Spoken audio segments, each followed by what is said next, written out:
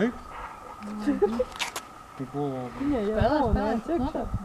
Kā viņai pilki? Māc, koļiks nederēs. Tiks mormošķis.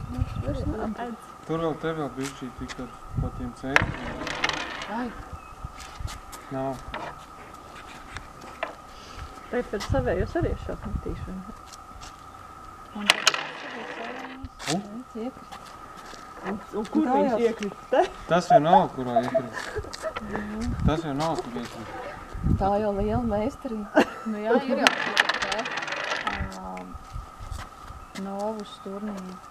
Lauķenē Nu, man- gāja vaļā. Man ir trešā vieta jauktajās dubultspēlēs Liepājas čempionātā. Tad jau tu esi meistarklāsts. Nu, tad jau nav vērts kā spēlē. Kā tas ir kaut kā vērts? Bet tur tā Viņa jau var nodarbēt roku. Mums jau bija čūka. Es jau zināju, ka tā nav karvēs. Tagad uzliek viņu.